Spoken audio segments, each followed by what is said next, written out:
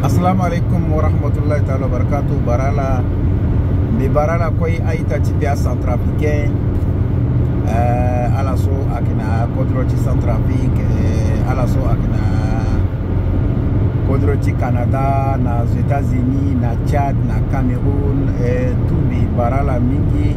mbi yeke ita ti ala zacharia omar sane mbiki na canada mbi ti na ville ti québec e mbi ga biri na na Trois-Rivières et puis là so na dimanche min ngai kiri na na so na na Québec donc uh, ni la min ngai tisala kidigita video to so eza na YouTube mihinga orke i asan trafike mingi isigi na na kodro ti états-unis canada france mingi même na suez anyen so kue asan trafike mingi asigi mais quand même an bena centrafricain so si an gba na kodro ka ala e na tchad na cameroun e puis na ala n gba na centrafrique ka donc e sara video e, iza na ya ti youtube e, na ya ti e so na ya ti tiktok ben ambeni e sa e, iza ga na e so na, na ya ti facebook kue donc euh, ala doit ti bâ ni e, ala bâ ni parce que e sara video ti neige anya mingi aisosi akipasege na canada donc uh, mu eza na ti youtube uh, donc uh, ala bâ ni donc ni la si ngba ti sara na ala so donc euh, so la mi ngba ti sara ni ala ala bâ ni ala profete abâ ni zo so mo bâ ni échappé ko mo mo doit ti bâ ni na ti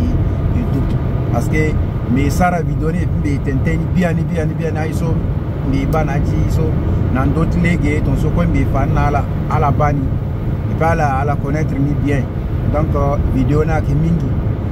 vidéo ti mbi ni ayeke mingi amène so mbi musique na mais comme youtube a accepté na iso na abi aso ape parce que mbi za musique ti centrafricain musique ti nigérien musique ti soudanais mais comme ala ala awane ala e tenteni ape mais quand même youtube aida ape parce que mbi mbigi ti mbi orchestre ape mbigi ti mbi so musicien ape parce que mbi ebi ape mbi chante ape donc mbi e za chanson ti ambeni azo nde na ye ti video ni so donc euh, youtube déjà ahinga chanson ni tout donc lo ko yida na ni ape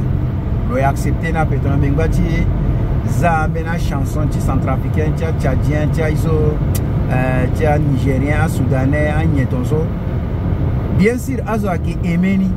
mais youtube ake yidana ni ape parce que tono mingba ti continue so youtube ake kanga video ti mbeni tu aye kanga ye so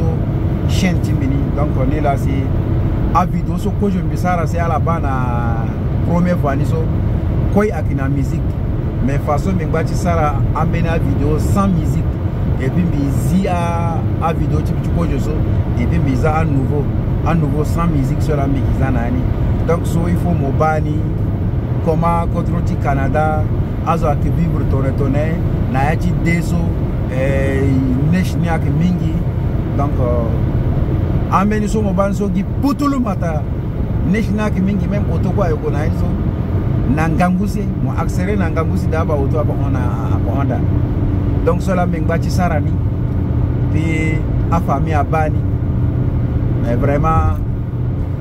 son Bikiza na inso qui a YouTube hein, a yi da Mais vraiment, Alhamdulillah, mi ngwashi sar na à ala bani, ala connaître Canada, ton ton quoi Vraiment, Inch'Allah, il continue toujours TikTok, Facebook, euh, YouTube, tout, partout, partout, Bikiza vidéo, ala la bani a yi ta, il Aha, iko aratere. la fik, Inch'Allah. a ƙarshe dai kun ji na saka harshen centrafric ko da yake na jima da na bar centrafric na jima tun shekarar 2000 da shekarar 2009 na fita na yi zama a ƙasar chadi tun shekarar 2009 haɗi zuwa zuwa ƙarshen zuwa farkon shekarar 2015 to alhamdulillah yanzu kuma tun daga bakin 2015 zuwa yanzu shekarar 2023 ina nan a kasar kanada eh, kamar kusan shekara takwas haka to alhamdulillah na fara manta ma burema na fara manta harshen na na sangon ma sai dai harshen hausa muna nan muna yinsa saboda ko a gida ko a ina muna yinsa kuma harshen larabci shi ma ba manta shi ba alhamdulillah muna amfani da shi alhamdulillah sai mu ce kuma allah ubangiji ah, ya taimake mu akan harkokinmu na alkhairi da muke yi insha allah